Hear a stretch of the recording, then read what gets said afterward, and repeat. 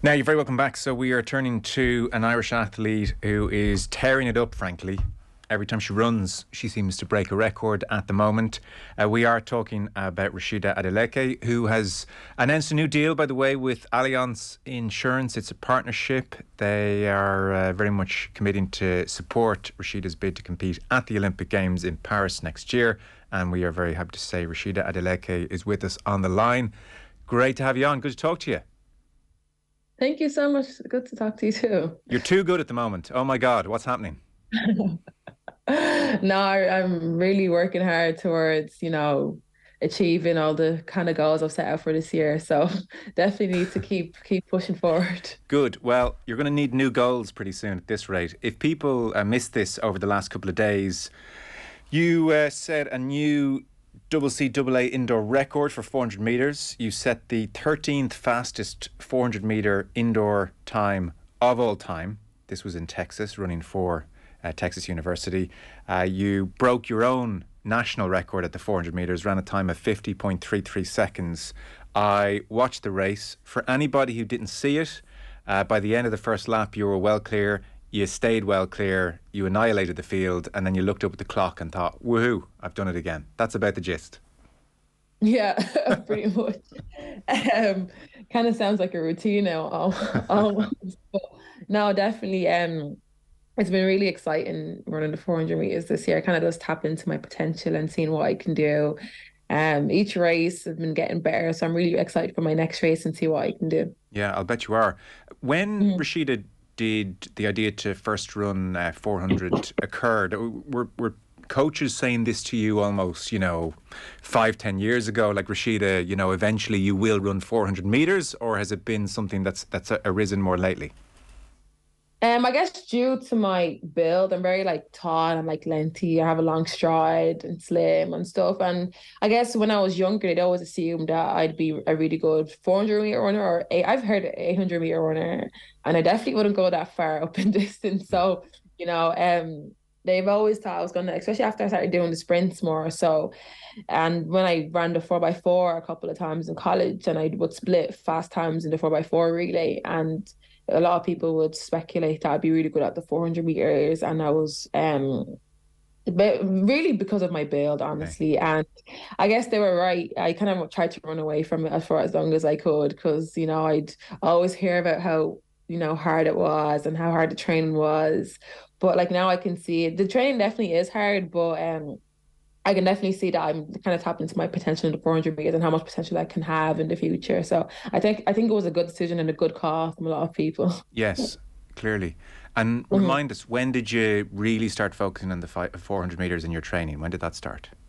So I started training for the 400 meters in October. So uh, as soon as well, whenever my break was over from the season, I started training for the 400 meters. It was definitely like a big big adjustment due from the short sprint training. It's definitely harder, more strenuous on the body, but um, I can see the results. So I'm really happy with how it's been going. Wow. Only since October. I mean, these results mm-hmm. are quick. You must be thrilled.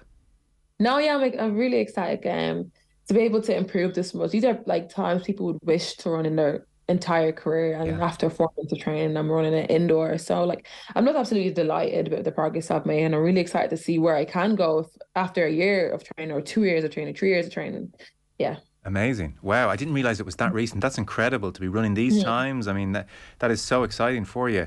Uh, the training difficulties uh, you mentioned. So, I mean, I, I the 400 meters is like always like famously talked about as so difficult because you're almost full speed for almost the full amount of time, and yeah. people talk about the you know that, that that last hundred meters as being just no fun at all. So what's that like? Yeah, um, I know when I was running it last year, the last hundred, last fifty, I'd be so tight, so tense. I feel like I'd run it, I was running backwards, honestly.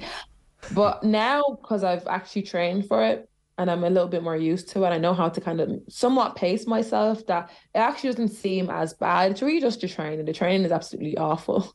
Um, the training definitely makes me want to reconsider my career choices. um, you know, like maybe I don't want to be a professional athlete.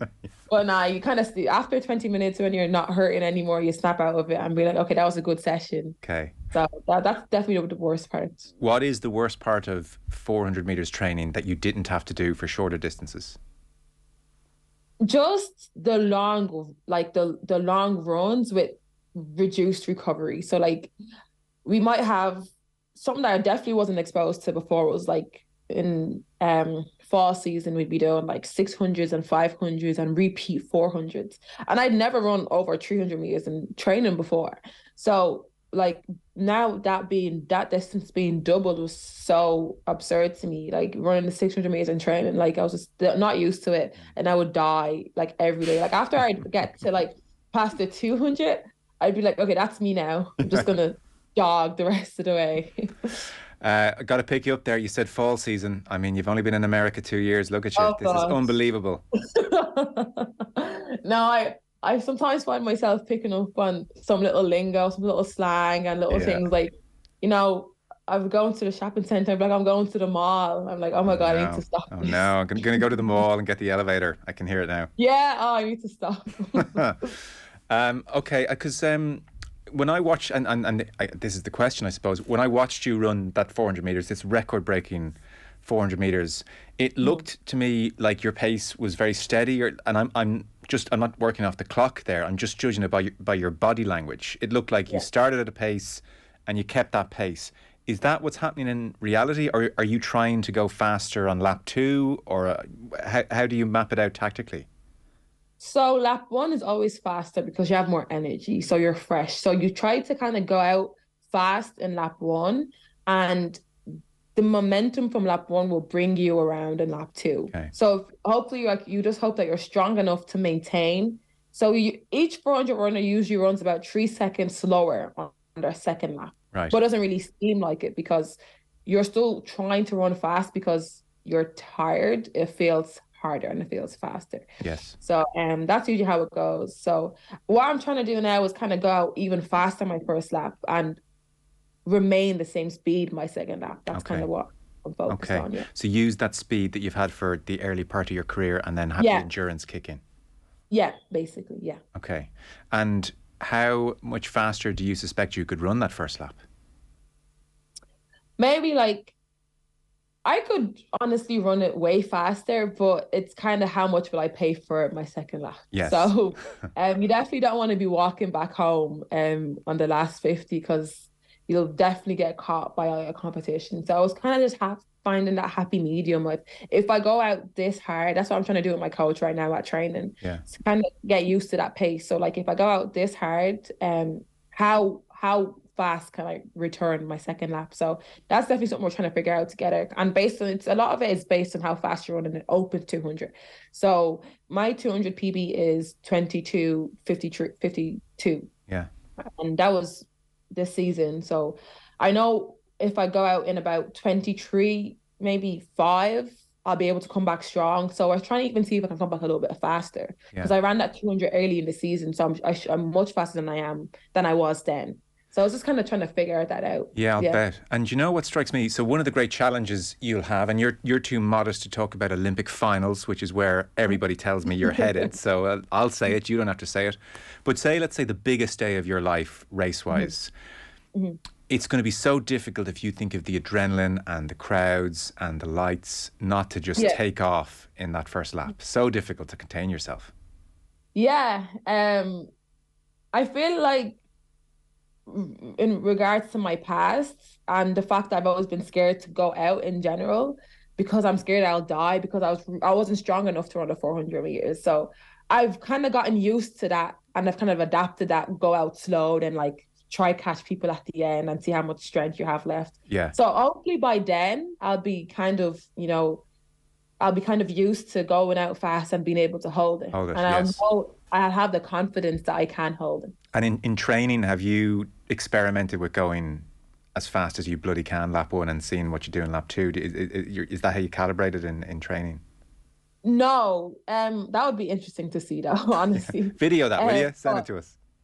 Yeah, if I do, yeah, I'll absolutely send it to you because it would be awful to look at. Um, but um, yeah, you do. But no, we haven't. That's not how. It's usually based on again the 200 PR and what we do a session that one of the hard sessions that we do is like you do multiple 200s with really really short recovery. Mm. and it's usually your last your very last 200 it's supposed to tell you how fast you can finish your 400 meters in. Okay. So my coach is a lot of like maths and you know there's a lot of like detail that goes into it. So he'll take whatever you run that last 200 in and that really hard workout and he'll take that, you usually add a second to it, and that's what you finish in. So then he'd ha- add that with your 200 PR, mm. and which is it's a lot of yeah, it's really complicated. Yeah, he now, like yeah. he kind of tries, yeah, he tries to explain it to me, and I just do exactly what he tells me to do. Honestly. Okay, trust the science yeah. and the experience. Yeah, I just trust. Yeah. He's like a scientist almost, yeah. so I just trust the process. I'll, I'll, run, you talk. Deal. Yeah, basically.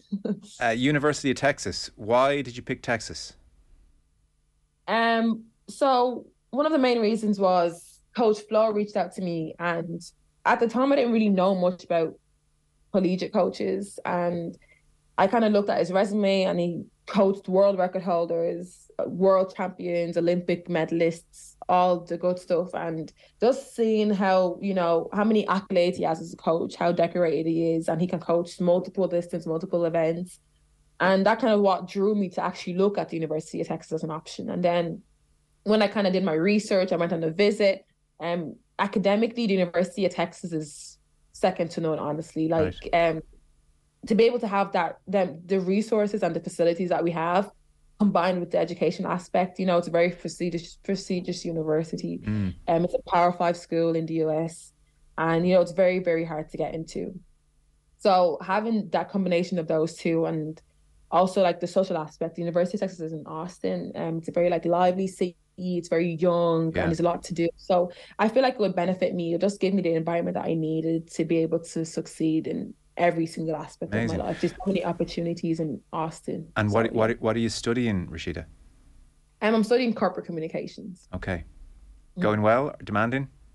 Yeah, it is. It's kind of like business, but you can also go into like um different specters like HR and like media and I feel like because I was studying economics and I kind of chose that for the fact that you know it's very progressive and you know post athletics wise, but it just wasn't something that I was interested in. So mm. I decided to kind of go into um, a sector that I was interested in, and I feel like athletics would give me a lot of opportunities in corporate in the corporate world. So um, it's really it's really interesting what I'm learning, and a lot of it can actually help me as an athlete. Okay. Fantastic. Mm-hmm. And do you feel homesickness or are you happy out? Life is good? Because you even in the 10 minutes we've spoken, which obviously is not a, a full representation of anybody's mood, you seem like mm-hmm. you're in a, in a, very happy place. Are, are you finding it tough being away or no? Um, it can be hard sometimes, you know, um, having my family so far away. It's but my mom calls me every five minutes, so so it's, it's, honestly it feels like she's here, and I have a really good like team environment. Like I like definitely one of the reasons why I came here in the first place. The team is very like family orientated, especially because we have so many international students um, we all kind of get along really well. We have, you know, team gatherings, team functions, so, you know, like game nights and stuff. So, right. you know, we're all very close. So it kind of gives me that family environment, like family away from home. So it's the wonderful yeah. thing about sport, isn't it? Uh, yeah. Any advice to any young person going to college? I, I, if they ask me, I would always say, even if you're not sport, sporty, find something because you'll just plug Absolutely. into 20 people in most uh, team sports that you'll be mates with Absolutely. instantly. Yeah, absolutely. And it's even why a lot of the reason why I tell people to stay in sports, you know, because I know a lot of people tend to quit sports due to not seeing progression or not reaching their, you know, athletic goals, etc. But like even just the social aspect, a lot of my friends I have are athletes and I've met them at competitions from different countries, etc. And a lot of the connections I've made is due to sports. And like I just feel like it just gives you so much more opportunity because you'll see people from all different types of walks of life um, participating in your sport or you'll see them at competition. So yeah. I just feel like it gives you so much opportunity. Because in your record breaking run of late, the 50.33 run, it, people may not realize it was a Texas 1 2. And yeah. so I, I was, I must say, across my mind, yes, it's a team, but it's an individual sport. So I wondered if yeah. number number two was saying, God damn it, Rhasidat, I hate you. um, no, probably not, because, you know, we push each other on. Like he's my main training partner. Um, it's usually just us two training together, and like we definitely push each other on, and we definitely know what we can achieve, and we know like, uh, you know, although it is an individual sports, we there's never any hard feelings or anything like that. Yeah, I'll bet. Um, what does the rest of this year look like for you then? What are, what are the big markers that you've got circled in the calendar? Um, Budapest World Championships is definitely one of the highlights um, of this year. Definitely looking forward towards that. And there's also European Under 23s, which is in July. And then you have like NCAA championships, indoors and outdoors. So those are like the main four mm. um, competitions that would kind of be like the staple competitions throughout the year. And um, you don't have to share them with us. Have you got goals? Have you got certain uh, markers? If I hit those, then I'm then I'm happy. Yeah, I always have goals. Um, I sometimes I try to go into competition with no goals because then you know you're just kind of open towards anything. But you know, I do set little minor goals for myself and hope to achieve those. And yeah, that's that's yeah. that's really usually the goals. Yeah. Very good. How many hours a day are you studying then, as well as your training? Um, well, we're getting into midterm season, so we're having a lot of exams and papers due. So it's definitely increased okay. since. So maybe about three, four hours okay. a day. And, you know, that's just pure studying. And then if I have assignments to do, that would kind of be on top of that. So it's definitely a lot. Um, but trying to just kind of manage it and like reduce procrastination is probably the biggest thing. you just need to get off the phone, put TikTok yeah. away. I know. So sometimes I can tend to be a oh, chill now and I'll do it later type of person never works in my favor. No. Well, listen, I think uh, we can safely put you in the high achieving uh, category. You're doing fine. Uh, con- congrats on the success. Well done. I mean, a brilliant partnership with Allianz Insurance, and they're going to be a support to you uh, yeah. right the way through, hopefully, to the games in Paris next year. And a, an amazing couple of years coming up for you. I mean, you're flying at the 400 metres. It's fantastic watching you do it for Ireland. Got to say, it's great. Uh, we're all behind you, so keep it going, and we'll talk to you soon. Thank you so much. Thank you. Rhasidat Adeleke with us on the line there from Texas.